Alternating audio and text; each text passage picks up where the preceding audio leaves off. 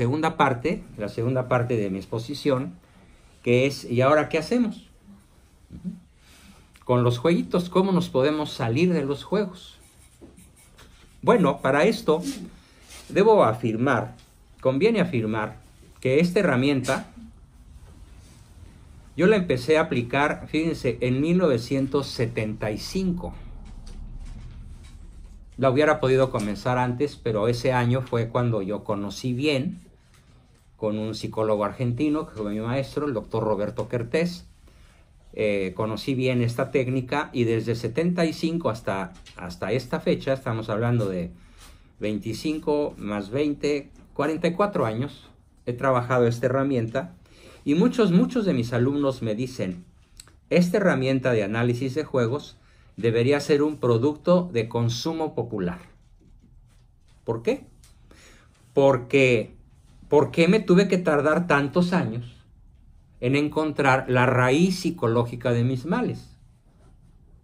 Yo entendí que la raíz psicológica de mis males, independientemente de otra que es todavía más grave, que no hablaremos de esa hoy, sino mañana, que es el pecado.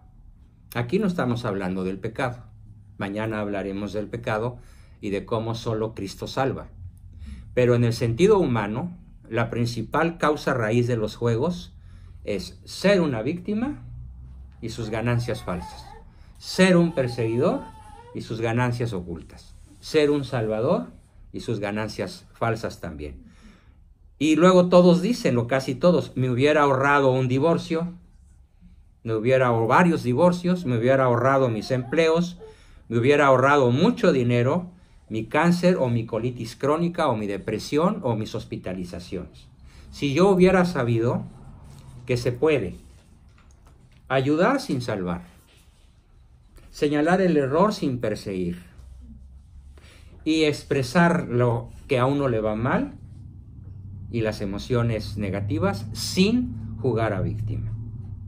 Para entender esto y poderlo aplicar a alguna decisión que todos puedan tomar a partir de esta noche, ¿sí? hay que comenzar por definir lo que llamamos el nivel de gravedad de los juegos. Primero vamos a darnos cuenta en estos momentos qué tan grave es nuestro juego. Existen tres niveles de gravedad. El primer nivel se llama nivel inocuo. ¿Qué quiere decir inocuo? ¿No? ¿Te los traduzco? Que no causa daño. Que no causa daño. Nivel inocuo no causa daño. Son juegos ligeros, pequeñas reyertas, pequeños pleitos que terminan con un beso, una sonrisa, un ándale pues, no hay fijón, lo que sigue, vamos. Eh, me caíste gordo cinco minutos, pero te perdono juegos inocuos. Eh, pueden ser de muchos y muy variados tipos de juegos. La persona que se le pasa un poquito la copa, pero que no se emborracha mucho. La persona que compra algo que no debería haber comprado y luego le cuesta trabajo pagarlo. La persona que se enoja y rompe algo valioso que no debería haberlo roto. Es decir, muchas cosas pueden ser inocuas. Claro, lo ideal es que ni siquiera esas cosas ocurran. Pero nadie está perfectamente libre siempre de todos los juegos. Algo, en algo nos equivocamos con mayor o menor frecuencia. Incluso por ahí algunos teólogos dicen que hasta los grandes santos eh, pecan siete veces al día. O se equivocan siete veces al día. Bueno, no sé cuántas, pero algunas, ¿no? Entonces, Ese es el primer nivel de los juegos, inocuo. No hay consecuencias trágicas. No se pierde la salud. No se rompe la pareja. No se va un hijo. No te pescas una borrachera. No tienes un accidente severo. No te pescas una enfermedad. Pero el juego sigue. Y si el juego sigue, ¿qué puede suceder? Pues que de inocuo se vuelva ¿qué? Grave. Entonces el juego se profundiza, se agrava en su nivel y estamos en un segundo paquete de nivel de juegos que se llaman juegos graves. En un juego grave se puede romper un matrimonio, en un juego grave puede haber un hijo no deseado, en un juego grave puede haber una deuda impagable, puede haber un accidente costoso, en un juego grave puede haber un intento de suicidio, en un juego grave puede haber eh, perder un empleo o ser metido a la cárcel por un fraude, porque aunque tal vez seas inocente, hiciste cosas malas, hiciste cosas buenas que parecen malas, en fin, juegos graves. Y luego tenemos lo que más me inquieta a mí cuando conozco personas que están jugando en el nivel que se va a llamar juego mortal. ¿Qué es un juego mortal? Comenzó como algo inocuo, siguió como algo grave y se desplomó hasta un nivel mortal. Em, hay una película que no sé si hayan visto, si la pueden rentar o bajar de por ahí, véanla. Es una película muy dramática que se llama El crimen del padre Amar. Comenzó con un juego inocuo. El padrecito, guapo, joven, invitaba a la chica de 15 años a la doctrina y la chuleaba. Pues es varón, no deja de ser hombre y eh, no, el Señor no dijo que no veas el menú, simplemente que no te lo comas.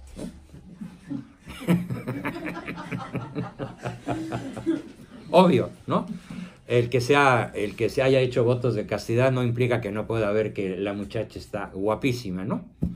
Pero en el momento en que él empieza a pensar, no, pues con esta hasta el infierno. Entonces ya el juego se vuelve grave. Entonces ya la invita a la sacristía y la viste, la disfraza de virgencita. Y se ve tan hermosa la muchacha que le da un beso. Pero entonces ella se excita y tienen relaciones y la embaraza. Y la familia se da cuenta y la muchacha y el curita terminan muertos. Entonces, inocuo, grave, mortal. En cualquier momento, un juego inocuo se puede volver mortal, se puede volver grave. En cualquier momento, un juego grave se puede volver mortal. Voy a poner un ejemplo extremadamente frecuente. Conozco muchas personas y nadie se sienta aludido que de pronto una mala mañana fueron al doctor, el doctor les dio los resultados de sus análisis, tiene usted cáncer en el colon, en la matriz, en los pulmones, en la próstata, donde sea, en el cerebro.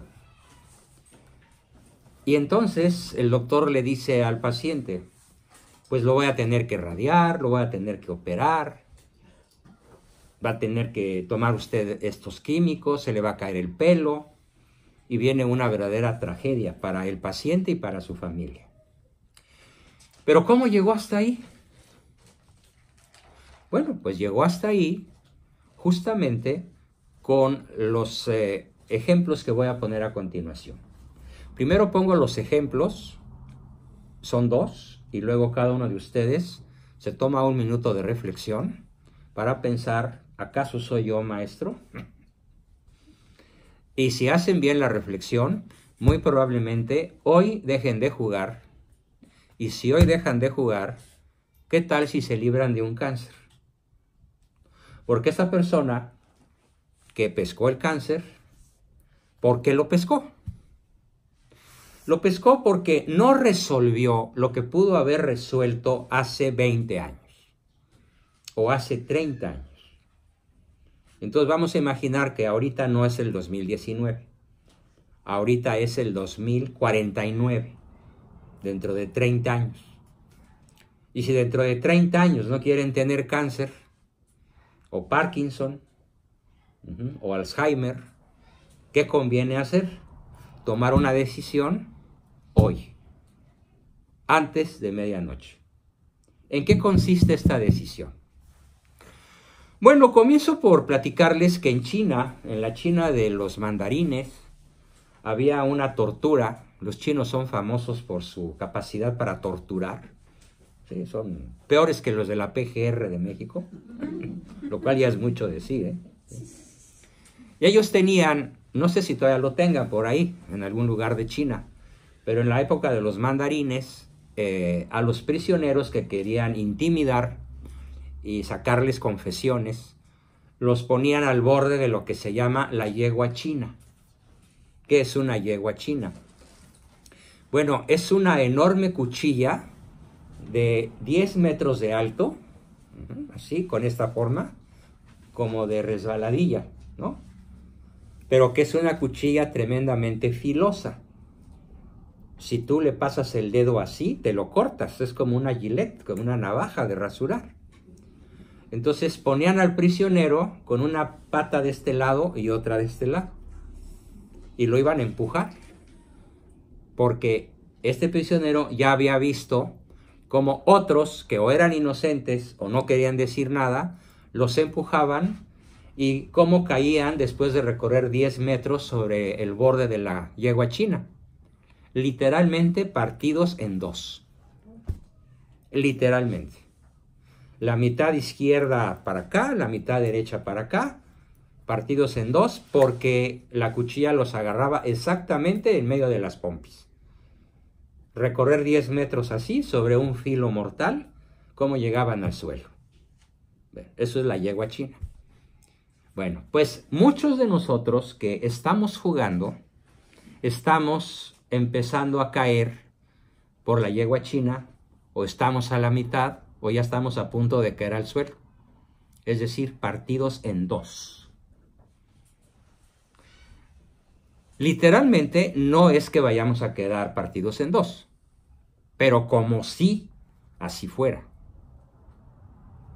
Porque partido en dos es pescar un cáncer, o un SIDA, o una depresión mayor, o tener ganas de morirse y en una de esas ahí quedas o hacer cosas que te pueden estar torturando o que pueden estar torturando a tu pareja o a los dos y concluir con un cáncer irreversible y mortal, o en un alcoholismo, o en drogadicción, o en ambas cosas, o en las tres, adicto, alcohólico y con cáncer, y deprimido. Y por si fuera poco, en pecado. Entonces ya, ¿qué le hacemos, no? Y yendo a bailar a chalva. ¿A qué equivale entonces el, el ser partido en dos? Para esto me valdré de una historia que aconteció aquí muy cerquita, en la costa de California. Ustedes saben que este lugar es tremendamente sísmico, ¿no? De hecho, la ciudad de San Francisco quedó destruida a principios del siglo pasado en un tremendo terremoto. Y sabemos que en cualquier momento pues toda la costa californiana puede ser sometida al movimiento telúrico de la falla de San Andrés y literalmente San Francisco, Los Ángeles y San Diego se caen al mar. Literalmente, eso puede pasar. Bien, pues resulta que en un lugar que se llama Santa Rosa, no sé exactamente en qué kilómetro entre Los Ángeles y San Francisco, hay un lugar donde hace unos 50 años ocurrió que un mal día empezaron a caer rocas de las montañas cerquitas a Santa Rosa, rodaron hasta la ciudad, hasta el fraccionamiento, perdón, aplastaron casas, vehículos, mataron tres o cuatro personas y fue una matazón tremenda, un, gran drama para ese lugar.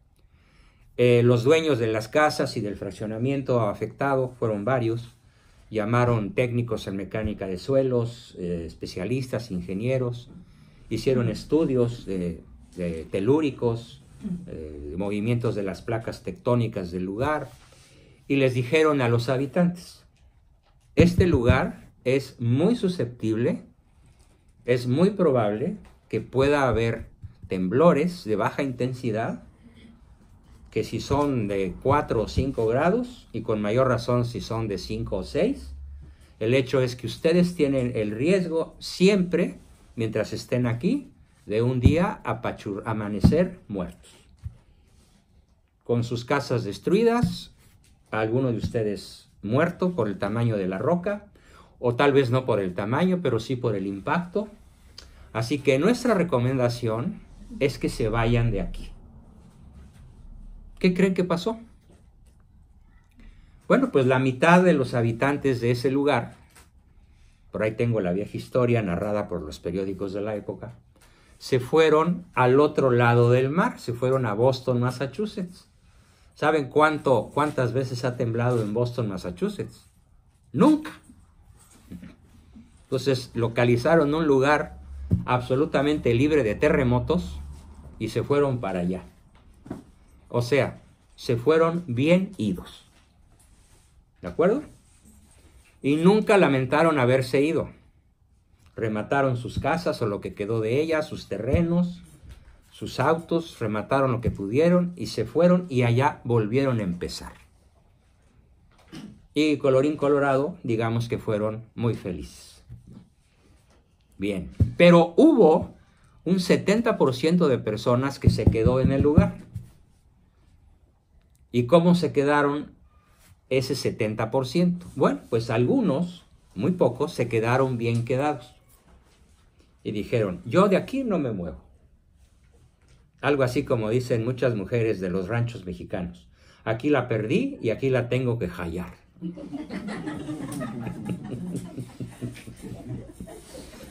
¿Sí? Y ahí se quedaron. ¿Y cómo se quedaron? Pues de buenas. No se quedaron deprimidos, eh, con un falso sentido de resignación, chin, ya nos cargó el chamuco, qué barbaridad, en cualquier momento amanecemos muertos. No, se quedaron contentos, se quedaron a disfrutar el lugar donde todavía siguen viviendo. Y bien, sí ha vuelto a haber terremotos, temblores, se han vuelto a caer rocas, y ya saben, ya, ay, ya tocó, ay, mira, mira la roca que, ay, cayó en mi patio, ¿no? Uy, la libramos, ¿no? Y hay quien no la ha librado, claro. Pero un X porcentaje de esos 70% que se quedaron, se quedaron bien quedados. Entonces, no tienen depresión, no tienen cáncer, no tienen tristeza, no son adictos, no están ansiosos, no van al psiquiatra, no toman tranquilizantes, duermen a pata suelta y disfrutan de su barrio, residencial por cierto. Y los otros, el otro 70% del 70%, o sea, la mayoría, ¿cómo se quedó? Con miedo. Con miedo. Yo conozco a algunos de esas personas porque incluso fueron hasta México a consulta conmigo. Eh, porque aquí lo único que les decían es aclimátate o aclimuérete. y tómate tafil o Prozac, ¿no? Y tómate este somnífero para que no tengas pesadillas de que ya te apachurró la roca. Se quedaron mal quedados. Entonces me contaban cosas tan chuscas como que hay familias que suben a la montaña y ponen folk rock. Algo así como tizna tu madre roca, ¿no? la maldicen, hacen brujerías. Eh, bueno, uno se dio el lujo de traer un brujo de Catemaco, Veracruz, para hacer una limpia. Bueno, si lo hace el pejidete, que no lo hagan estos, ¿verdad? Les patina, pero bueno. Entonces, eh, maldicen todos los días, les escriben a sus parientes en México, qué horror, no nos acostumbramos, es una maldición. Y entonces los parientes les dicen, pues ya jálate para Veracruz, ¿no? Como dice aquel dicho, pero te jalapa Veracruz, ¿no? Pero te jalapa Veracruz, ¿no? pero te jalapa Veracruz. es un juego de palabras, ¿no? No, ya vente, órale. Eh, no, no, no, no me puedo ir, ¿cómo crees? No, es que aquí aquí pues me gusta, no, pues es que aquí hemos crecido, aquí están mis nietos ya, no, qué barbaridad. Pero entonces ni se quedan bien quedados, ni se van bien idos. Si nos regresamos al ejemplo de la yegua china, ¿cómo están? Partidos en dos. Literalmente partidos en dos. Es un juego mortal. Les encanta quejarse pero no resuelven la situación que les produce la queja. Ejemplos. A ver, piensen. ¿En qué situación pueden estar ustedes esta noche? Situación en la cual se quejan y se quejan y se quejan de esa maldita situación, que a lo mejor es la señora que escogieron, o el marido que les tocó, ¿cómo dice? Matrimonio mortaja del cielo baja. A lo mejor es un problema económico que se puede resolver, pero que da flojera resolver. A lo mejor es un problema médico. ¿sí? Hay personas que ya deberían haber ido con algún especialista de artritis, o dentista, o de columna, o de cabeza, o de qué sé yo, y nada más se la pasan quejando pero no resuelven a fondo el problema. Maldicen la roca, pero no se van a Boston, Massachusetts. Se quedan donde está la roca y se siguen quejando de la maldita roca, fuck rock, ¿no? Pero no se van y tampoco se quedan bien quedados. Entonces, analicemos. ¿Acaso soy yo maestro? ¿Me quiero ir pero me quiero quedar? me quiero quedar, pero me quisiera ir. Ya estoy hasta el gorro de esto. Pero ¿por qué no agarras tu avioncito y te vas a Boston? Ay, no, ¿cómo crees? Además está recaro, además, ¿qué van a decir? No, además, fíjate, pues me tengo que llevar a mi mujer y a mi suegra y a mis hijos. Y... No, eso de volver a empezar. Pero aquí no están bien, porque están maldiciendo la roca. Y allá tampoco van a estar bien, porque van a estar añorando a quien maldecir. Literal.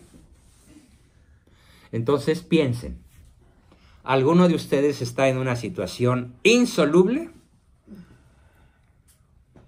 En una situación tal que merezca dejar de caer por la yegua china y decir, ya basta, me voy bien ido o me quedo bien quedado pero no pueden seguirse desgastando. Porque si se siguen desgastando en la, en la yegua china, ¿qué les va a pasar? No sabemos cuándo, pero les va a pasar. Depresión, cáncer, alcoholismo, suicidio, accidentes, rupturas terriblemente dolorosas porque no se previnieron a tiempo lesiones cerebrales, lesiones en la columna o muerte por artritis. Fíjense, se ha descubierto que una mala higiene dental provoca tremendas alteraciones en las articulaciones. Genera ciertas bacterias que pueden ser incurables. Entonces, la invitación que les quiero hacer con este ejemplo de los habitantes de Santa Rosa que ni se van ni se quedan y siguen maldiciendo la roca, pero no se van a Boston, Massachusetts, cualquiera de nosotros en esta época de su vida puede estar en una situación de juego psicológico, de víctima, pudiendo haberla ya resuelto. Piénsenlo. No me la digan. A menos que alguien lo quisiera plantear. Si hay alguien que lo quiera plantear,